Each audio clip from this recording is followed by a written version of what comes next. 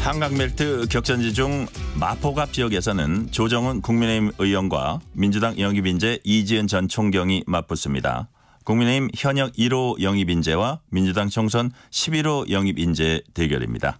오늘은 조정은 국민의힘 의원과 함께 총선 관련 현안을 놓고 얘기 나누겠습니다. 의원님 어서 오세요. 네, 반갑습니다. 조 의원님께서는 시대 전환 대표로서 국민의힘에 막 입당했을 무렵에 지난해 11월 말로 기억하는데 이 자리에 이제 출연하셨어요. 어, 당시에 국민의힘에서 역할을 잘하겠다 뭐 이런 말씀 해주셨는데 그때 이후에 그 당의 뿌리를 좀 내리셨습니까? 예, 뭐 신입사원으로 아직 어리버리하고요.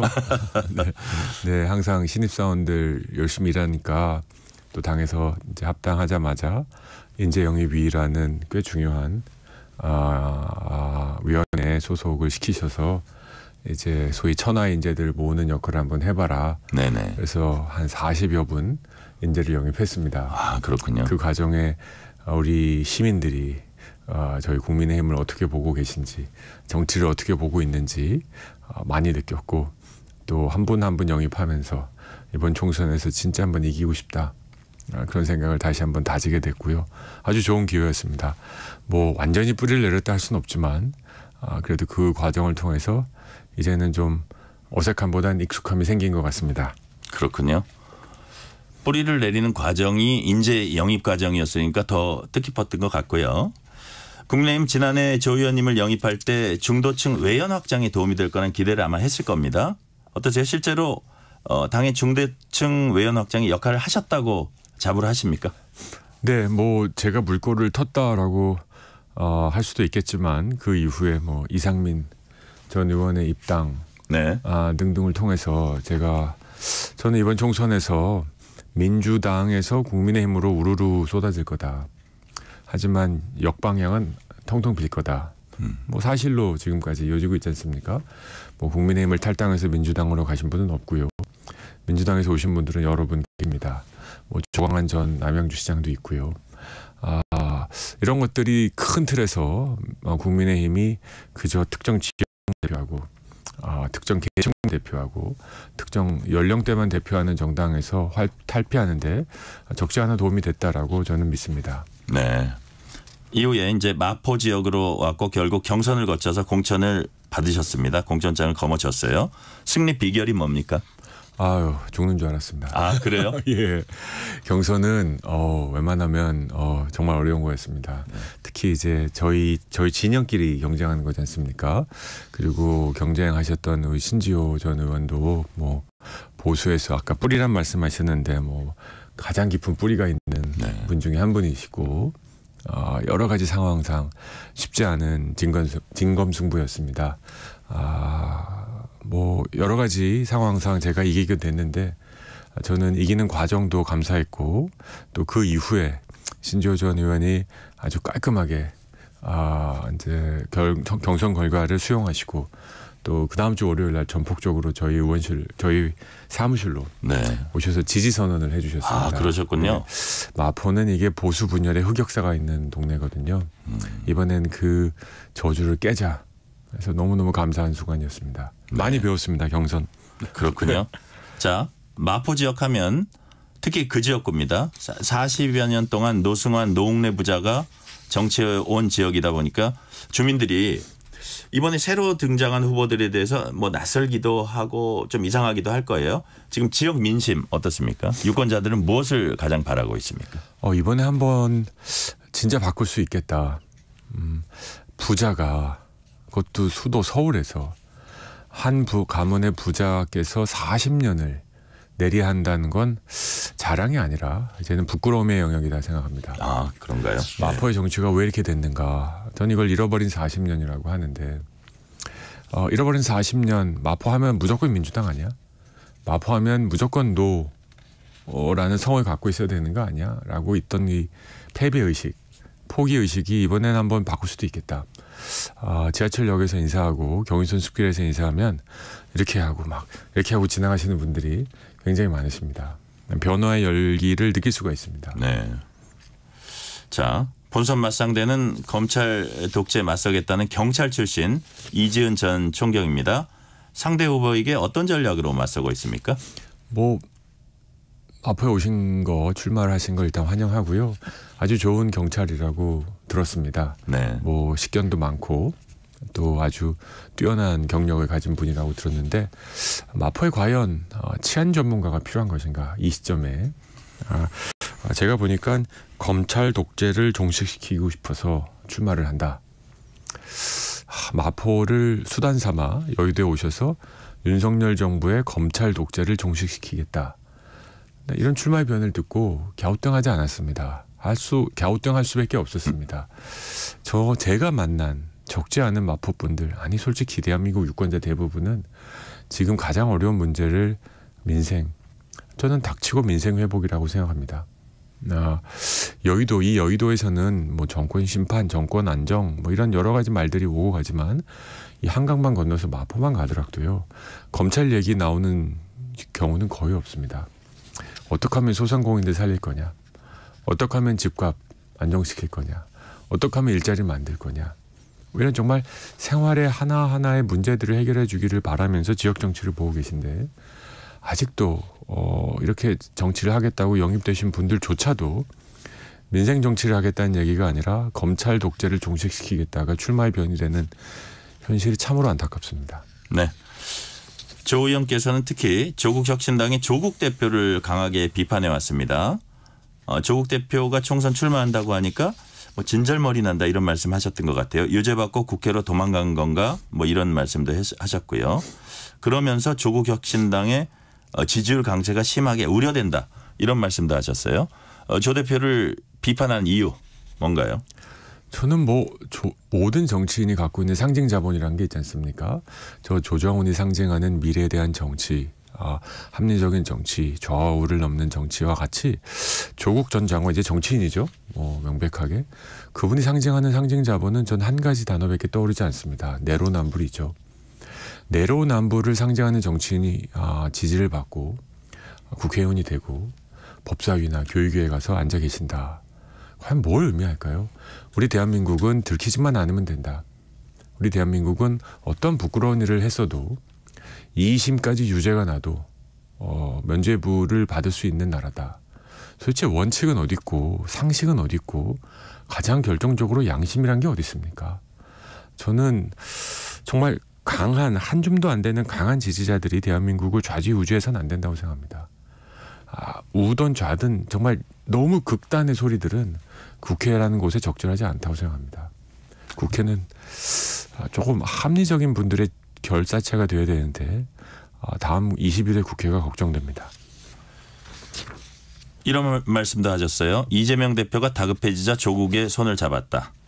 결국 네. 총선 뒤에 범죄 혐의자들끼리 당을 합쳐서 정부를 흔들어댈 것이다. 네. 총선 후에 두 사람이 합칠 거나 최소한 손을 잡을 거라고 예상을 하세요? 저는 뭐 거의 확실하다고 생각합니다. 아, 조국 대표가 뭐 총선 이후에 이제 민주당과 합당하는 일은 절대 없다. 아, 정치인이 절대란 말을 쓰면 거의 하겠다는 소리거든요. 아, 만약에 민주당의 의석수와 조국 혁신당의 의석수를 합해서 과반을 넘는다 만약에 안 할까요? 국회의장을 내놓을까요? 저는 뭐 거의 예정된 수순이다. 그런데 질문 드리고 싶은 건 그럼 왜 지금부터 합당을 안 하냐? 지금부터 조국 전 장관이 민주당 입당해서 정정당당하게 문재인 정부의 장관이었잖아요.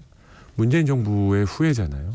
근데 메뉴를 넓히는 이런 기술적인 일, 또 자기들이 갖고 있는 사법 리스크는 피해가면서 의석수를 확보하고자 하는 이런 꼼수, 전 법무부 장관이 할 짓은 아니라고 생각합니다. 조국 대표는 22대 국회 첫 번째 행동으로 한동훈 특검법 발의하겠다 밝혔습니다. 이건 어떻게 보세요? 특검이 입에 붙은 사람들이죠. 어, 뭐 지구를 멸망시키겠다 뭐 이런 거하고 비슷한 얘기하는 것 같은데요. 특검이란 단어가 이렇게 가벼운 단어는 아닙니다. 어, 무조건 땡땡 특검, 땡땡 특검. 이번 어, 22대 국회 민주당 다수당으로 한 게 탄핵 특검 해임. 소위 탄핵 특검 해임의 무한 반복 아니었습니까?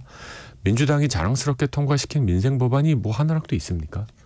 아, 민생은 민주당이라고 하시면서 도대체 무슨 예가 있는지 좀 모르겠습니다. 저는 특검이란 단어를 이렇게 쉽게 입에 붙일 수 있고 또 한 발 더 나가서 탄핵.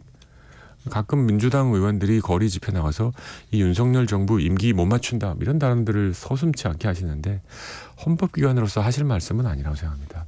그리고 국가를 사랑한다면 어떻게 해서든 우리가 뽑은 대통령이 성공하길 바라는 것이 국민들의 마음이라고 좀 믿습니다. 네. 조국 혁신당에는 조 대표 뿐만 아니라 역시 재판받고 있는 황운하 의원이 비례 신청을 했습니다. 또 이제 영입된 인재들 중에 보니까 민감한 사건 또뭐 사안에 연루됐던 뭐 박은정 검사, 이규원 검사, 차규근 전 출입국 관리 본부장 등등이 줄줄이 입당했습니다. 이런 건 어떻게 보세요? 그런 장면들 사법 리스크 그리고 1심 2주의 범죄가 확정된 분이 거침없이 정치에 뛰어드는 장면과 아까 시작에 말씀드렸지만 정말 양질의 우리 사회의 각 분야에서 열심히 일해왔던 분들이 정치라는 분야의 제안을 받았을 때 손사래를 치는 장면이 대조가 됩니다. 정말 악화와 양화를 구축하고 있다고 생각합니다. 정치는 저렇게 거칠고 거의 뭐 재판 몇 번은 기본으로 받는 사람들만 하는 거구나라는 인식이 퍼지니 정말 우리 사회에 꼭 필요한 전문성을 갖고 있는 분들이 국회에 들어오는 일들이 적어집니다. 아, 정말 이건 반성해야 될 부끄러운 일이라고 생각합니다.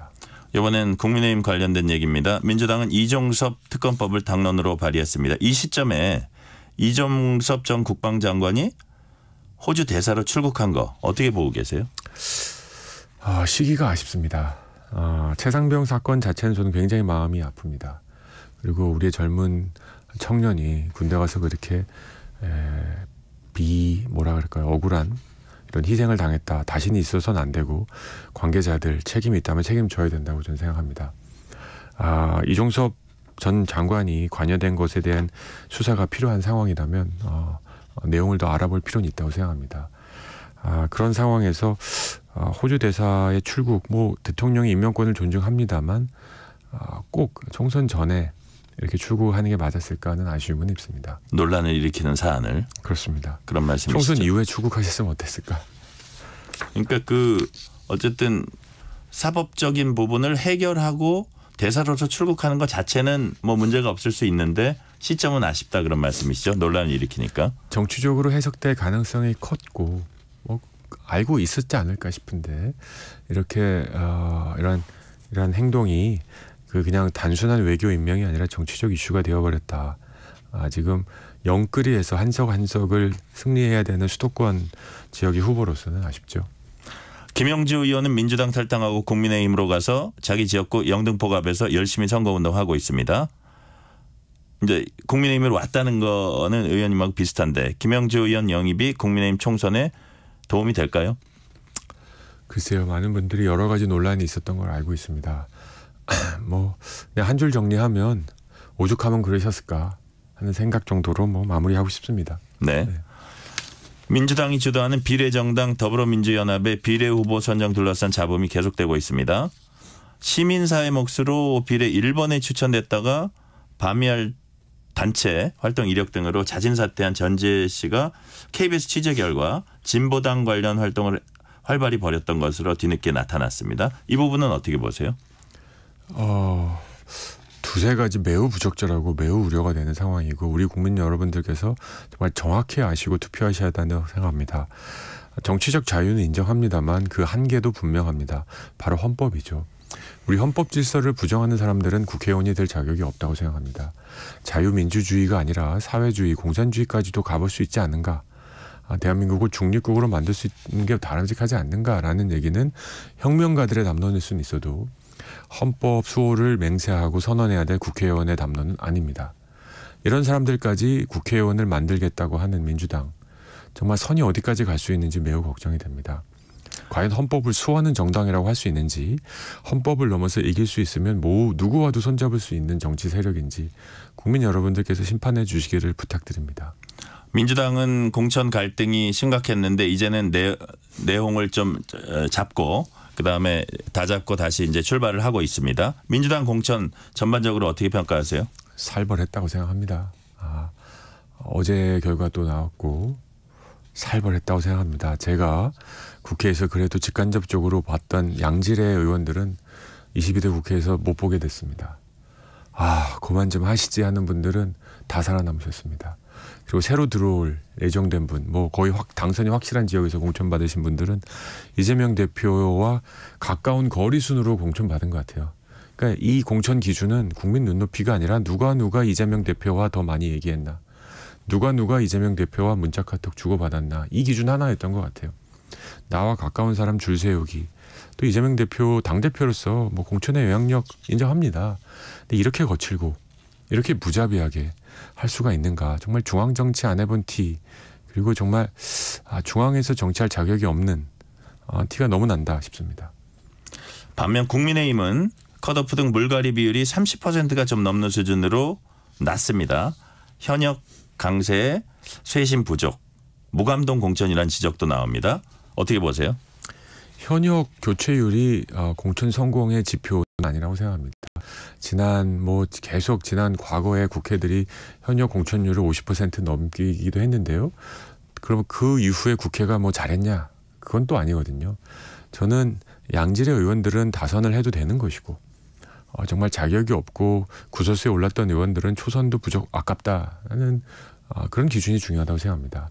그래서 저희들의 공천 과정을 통해서 어, 뭐 불공정했다. 네. 뭐, 어, 뭐 비위가 있었다. 뭐 한동훈 대표가 줄 세우게 했다. 뭐 이런 얘기 없다는 거. 이게 국민 여러분들께서 평가하신다라고 생각합니다. 네. 이제 오늘 국민 추천제 그, 그 결과가 나온다고 해요. 뭐 서울, 강남, 대구 같은데 여기선 좀 참신한 인물들이 나올까요? 그러기를 기대합니다. 네. 아 저는 이게 소위 미국에서 얘기하는 오픈 프라이머리거든요. 어, 이, 의미 있는 실험이라고 생각합니다. 아, 이 지역은 소위 당선이 매우 유력한 지역이기 때문에 어, open primary를 통해서 어, 국민들이 추천하고 이런 과정들을 통해서 어, 성공 사례를 만들어낸다면 다가오는 2023년 공천에 저희 국민의힘이 더 확대할 수 있는 가능성도 있다 싶습니다. 조 의원께서는 지난 총선 때는 민주당 비례연합 위성정당 통해서 이제 입성했습니다 국회. 근데 지금은 이런 제도도 비판하고 있고 특히 용해인 의원에 대해서 비판을 많이 하시더라고요. 이유가 뭡니까? 뭐 용해인 의원을 특별히 비판한 생각은 없고요. 아 그렇습니다. 저는 그때 당시에 어, 연합하는 그 목적이 소수 정당에 대한 배려였습니다. 그리고 전 제적을 당했고 민주당적을 갖지 않고 시대전환으로 활동을 했었습니다. 그 과정에서 그 소수 정당을 배려하겠다는 민주당이 국회 활동에서는 소수당을 압살하는 노력들 왜 너 우리 하라는 대로 안 해 시키는 대로 안 해 하는 모습을 보면서 이 또한 내로남불이다 싶었습니다. 지금 민주당의 비례연합 정당 시민사회 갈등 또한 똑같은 맥락입니다. 비록 시민사회가 명의는 빌려줬지만 결국 총선 이후에 다 민주당으로 입당할 사람들 아니냐. 그러니까 결국 우리 민주당의 국회의원이 될 사람들이니까 우리가 뽑겠다 이거거든요. 명의는 빌려줬지만 실질은 우리다. 뭐 이런 이런 얘기를 하려면 그냥 깔끔하게 병립형으로 가시는 게 맞다. 괜히 멋있는 척 하지 마시고 용해인 의원은 대중 정치인의 길을 갈 기회를 이번에 잃었다고 생각합니다. 그 정도의 인지도와 4년의 의정활동 기회를 받았으면 어, 여러 지역에 가서 자신의 이름과 당을 가지고 또는 이름만 뭐 민주당이 합당을 하시더라도 어, 대중 정치인으로서의 길을 가는 게 길게 보면 용해인 의원에게 득이 됐을 거라라는 생각을 하는데 뭐 용해인 의원의 판단이니까 제가 어떻게 하겠습니까? 자, 20초 남았는데요. 딱 10초로 총선 승리 전략 한 줄로 말씀해 주시면 뭘까요? 민생 전쟁입니다. 아, 검찰 독재, 검찰 뭐 정권 유지보단 퍽퍽한 국민들의 삶을 낫게 하는 민생 전쟁. 네. 그래서 저희 여당이 이겨야 합니다. 여기까지 듣겠습니다. 조정훈 국민의힘 의원이었습니다. 감사합니다. 감사합니다. 전종철의 정격 기사 1부 순서 마칩니다.